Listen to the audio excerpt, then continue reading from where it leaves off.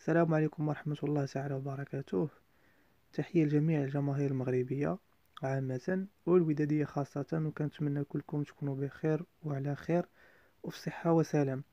من المنتظر أن يخوض فريق الوداد الرياضي مباراة اليوم أمام الدفاع الحسني الجديدي برسم الجولة السابعة عشر من البطولة الاحترافية إنوي محروما من خدمات مجموعة من اللاعبين أبرزهم أبرزهم اللاعب المترجي الذي سيغيب عن الفريق الأحمر أمام مضيفه الجديد وكذلك اللاعب الحسين بن عيادة. هذين اللاعبين كيعانيوا من مخلفات الإصابة هنا كذلك غنطرح تساؤل حول آه، يعني تعدد الإصابات وعيادة الفريق الأحمر. كذلك غادي يغيب حميد أحداد.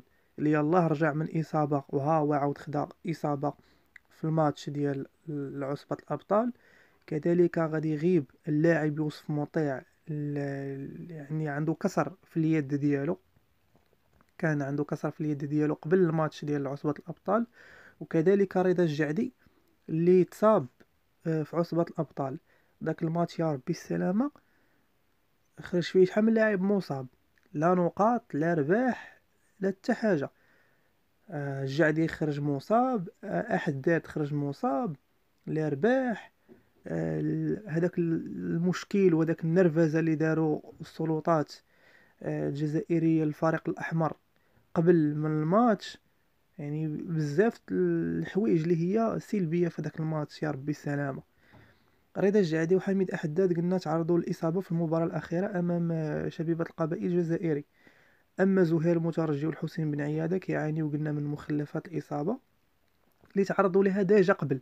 وهنا قلنا غادي نطرحوا تساؤل يعني واش هاد العيادة هادي ديال ديال اللعابه واش ما تتسخاش بهم ولا واش ما تيتبعوش شي نظام غذائي معين واش ما كاينش استعداد البدني معين. كيف ما كان قال عموته في الخرجة ديالو مع آه بن عبد الله قال لك آه أن اللعابه ما داروش آه ما داروش الفحص الطبي.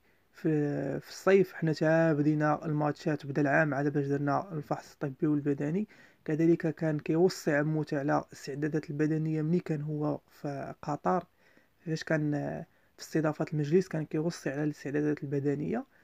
ما عرفت علاش اللعابة كيتصابوا كيعاودوا يتصابوا حتى في الإصابة ديالهم كيتعطلوا ما كي ما كيكونوش جاهزين دغيا. يعني هنا كيتطرح تساؤل لأن بزاف الجماهير كتسائل حول هذه الإشكالية هذه ثم يوسف مطيع اللي كي اللي تعرض للكسر في اليد ديالو. الله يجيب ليه الشفاء. كان تعرض للكسر في احد في إحدى الحصص التدريبية. الله يشافيه. شافي جميع المسلمين. بهذا أستودعكم الله والسلام عليكم ورحمة الله تعالى وبركاته.